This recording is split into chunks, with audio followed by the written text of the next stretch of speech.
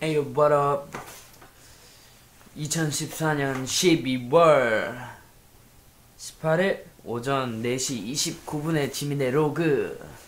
어, 참 오랜만에 로그를 찍게 되었는데 이 새벽에는 참 오랜만에 로그를 다시 찍게 된 것 같다.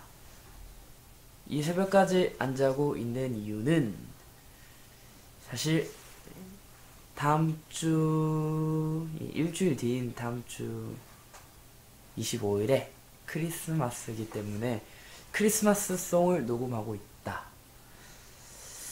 아 사실 일주일밖에 남지 않았는데 이제 일주일 뒤부터 이제 크리스마스 때부터 시작할 뭐 연말 축제라든지 가요제라든지 준비할 게 너무 많아서 녹음할 시간이 없어서 솔직히 다음 주까지 일주일 만에 녹음을 잘 끝낼 수 있을지는 모르겠지만 그래도 우리 사랑하는 팬 아미를 위해서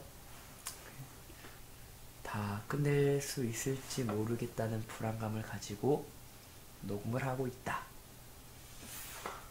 아 사실 지금이 목요일이 된 오전 4시 30분인데 오늘 하루만 지나면 이제 금요일 아침에 이제 태국으로 가서 콘서트를 하게 될 예정인데 아마 스케줄이 있어서 더욱더 녹음할 시간이 없어서 좀 많이 불안한 것 같다. 그래도 할 수 있는 데까지는 해서 다음 주 25일에 꼭 공개할 수 있게 해야겠다. 사실 이 새벽에 카페에 들어가 있는데 일단 팬들을 먼저 재우고 안녕. 난 이제 간다. 팬들이 굉장히 이 시간까지 왜 안 자고 뭐 하냐고 물어보는 물어보는 팬들이 많은데 여러분들이 여러분들을 위해서 곡을 만들고 있습니다. 사실 오늘따라 사실이란 단어가 왜 이렇게 많이 나오지? 거짓말한 적 없는데 이번에는 이번 크리스마스 송은 내가 직접 가사를 다 써서 올리는 거라 좋은 반응이 있을지 잘 모르겠다. 하나님, 부처님, 예수님. 아, 좋은 반응이 있었으면 좋겠다.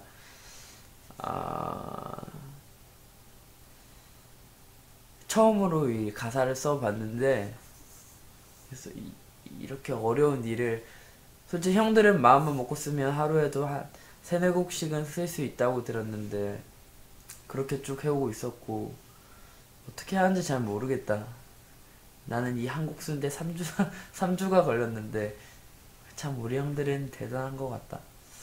아무튼, 올해가 이제 한 달, 한 달이 아닌 2주 남았는데, 2주 안에, 뭐, 25일에 꼭 크리스마스 송을 낼 수 있었으면 좋겠고, 연말 축제라든지, 가요제도 잘 마무리하고, 다음 해를 맞이했으면 좋겠다.